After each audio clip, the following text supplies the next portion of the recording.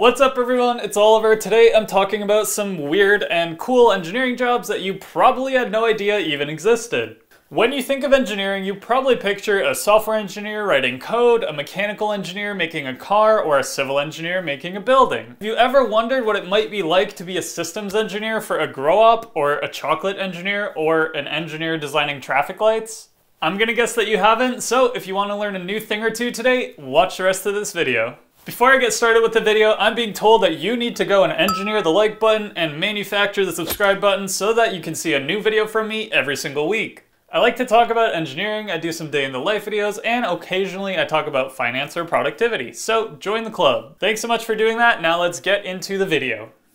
So let's say, for example, that you want to work in a company with a recently legalized substance in Canada or the United States. Let's also say that you learned some stuff in your engineering degree about control systems engineering. Well then, why not work as a systems design engineer for a grow-op? You can put two of your passions in one place and I'm sure that the person hiring you would love to have you on the team. So what exactly would this job entail? Well, obviously you would be tasked with creating the automated control systems that would enable these plants to grow and thrive.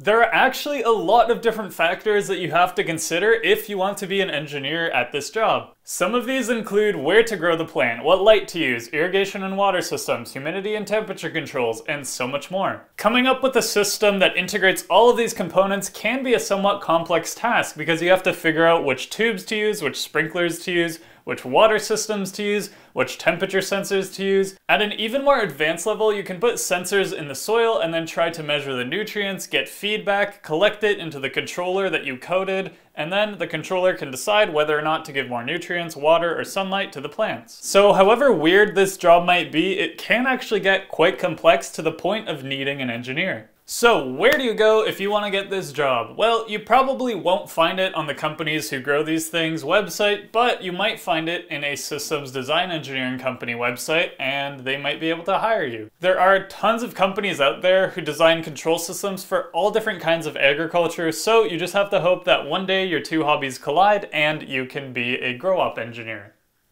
Can't believe I said that.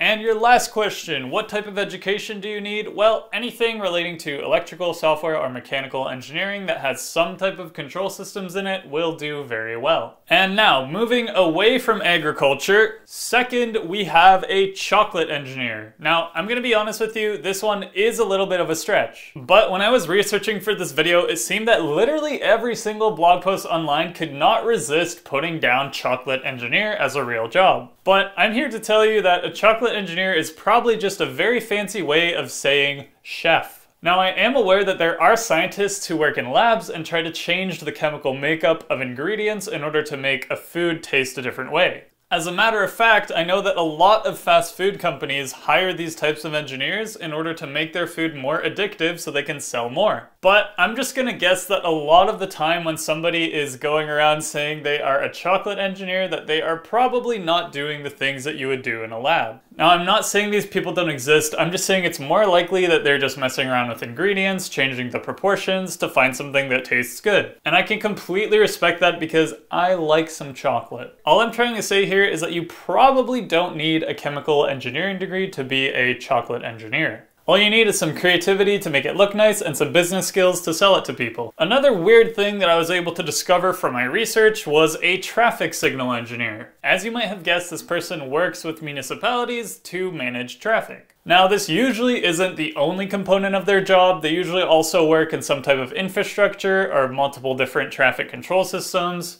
Or they might even design some of the new roadways. But I'll be honest with you, this is one of those things that you don't really think about, and then when someone tells you it, you're like, oh yeah, I guess somebody does have to do that. So naturally, the person in this job would probably be a civil engineer or somebody who knows a bit more about electronics, like an electrical engineer. This being said, I actually have a big problem with the way that suburbs and traffic systems are designed in North America.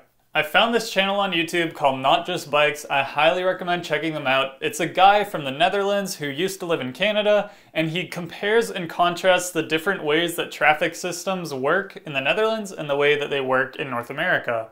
I realized from watching these videos that we could be doing such a better job with our traffic systems that it's honestly kind of shameful. One of my biggest pet peeves that I'm sure a lot of people agree with me on is waiting at a traffic light for three whole minutes when nobody is going back and forth perpendicular to you. We really need to jump into the 21st century here and use real-time traffic control systems that can actually adapt to what's happening in the current moment. There's also been a huge crusade around my neighborhood to try and stop people from speeding so much, but if we just designed our roadways properly and we separated pedestrians from bicyclists from cars, we wouldn't be having these kinds of problems and we wouldn't have to force people to slow down using a bunch of traffic signs and traffic cameras. I really don't think that's the solution to our problems. Kind of unrelated to the video, but I just thought, hey, if you're interested, why not? And go check out Not Just Bikes, he's a pretty cool channel. What are some other honorable mentions that I also found kind of interesting? So first up, we have weird types of design engineering. There are tons of different kinds of design engineering out there,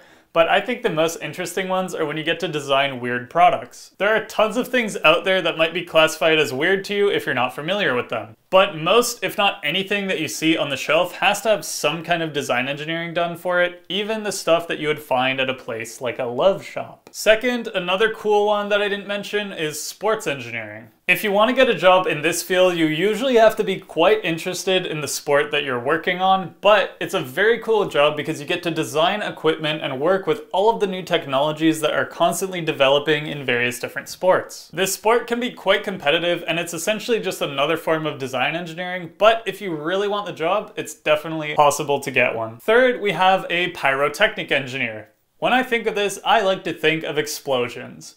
But they also do fun stuff like create fireworks, and you can actually get paid a real salary for doing this. Most of the time, the people who are pyrotechnic engineers come from some form of chemical engineering, and now I'm really regretting not going into chemical engineering because I want to blow things up.